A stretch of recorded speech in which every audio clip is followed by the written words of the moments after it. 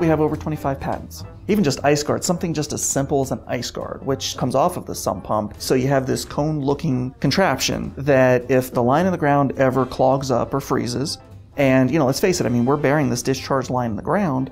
Well, you know, our grass is in there, rabbits make their homes in it, mice make their homes in it. So if that line in the ground ever freezes up, water basically starts shooting out of this IceGuard outside the house and you don't have to worry about it building back up underneath the home. We've lost the pressure at that point and we've also gained the ability to protect the home on the inside in case there ever is a frozen pipe. The amount of thought that somebody actually put into something that small is amazing. We try to stick with the things that we do and we develop those products and processes for the things that we do so when you know you are calling us, you're getting the experts.